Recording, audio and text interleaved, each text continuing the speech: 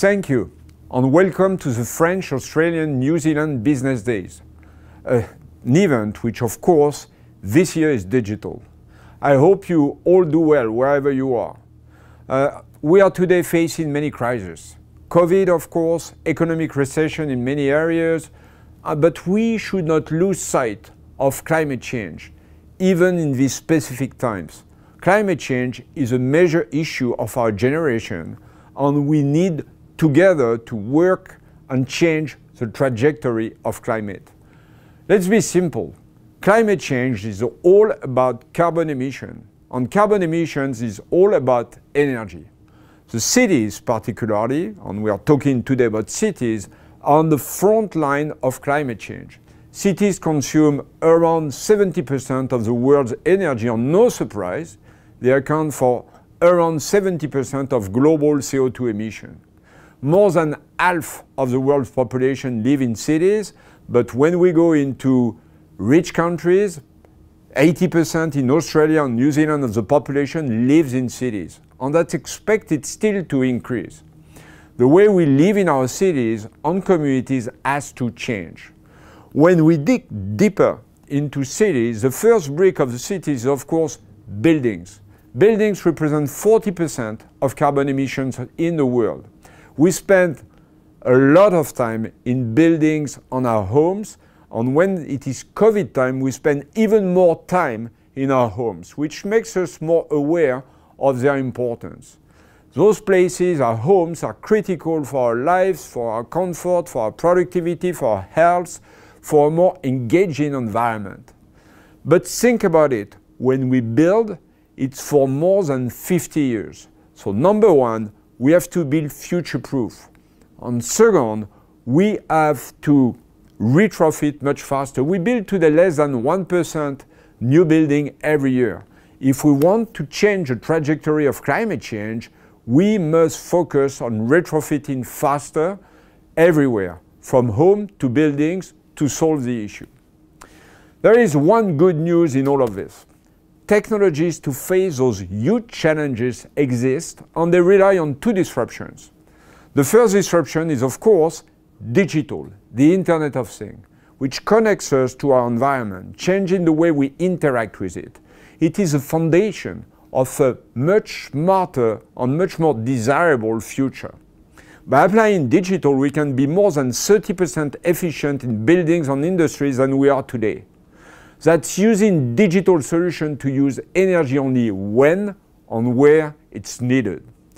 The second large disruption is electrification of the world. And one would say electricity is an old technology, but it's not the same electricity. We will see a big migration in transportation on electric vehicles, in buildings for heating and cooling, something that will become an environment that will become much more human-centric and will drive us to net zero buildings.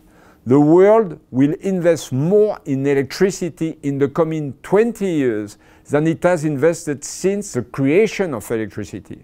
But that electricity will be profoundly different. It's going to be about renewables, microgrids, storage, solar, wind, and electric mobility.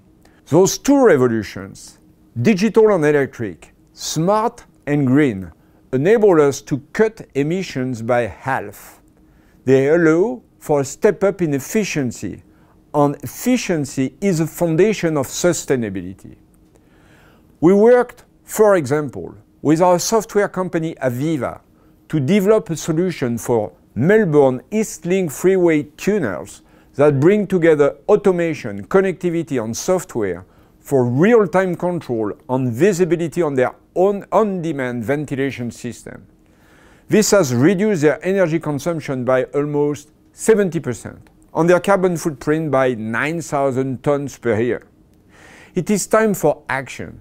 And that's why we've joined the Energy Transition Initiative in Australia, along with other large companies, some who are present during this event. I would like also to outline that we learn a lot of what is deployed today in Australia and New Zealand. Think about it. More than 20% of Australian households have rooftop solar. South Australia has already had one day powered solely by renewables. New Zealand South Island is almost 100% generated, electricity is almost 100% generated by hydropower. That is really impressive. But what if our buildings in our cities had microgrids, becoming energy prosumers? South Australia Produce Market, the state's major market, has done this, installing a microgrid in a city context, giving the market full autonomy, total reliability on cutting its power bills. But we can go even further. We can connect those smart and net zero buildings together. We can connect them with EV on smart transportation such as bus fleets. We can deploy sensors and analytics more broadly on waste water on water plants to improve their quality and efficiency as we already do with Sydney Water on Water Corp in Perth. We can encourage energy sharing for a more inclusive city. That is what we call systemic efficiency.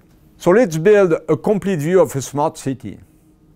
The city of the future will be digital, it's going to be green, and it's going to be inclusive. Those three go together. Let's make sure that we use the meetings we're going to have together to design this city of the future. I'm really glad to be with you today and thank you for participating into those business days.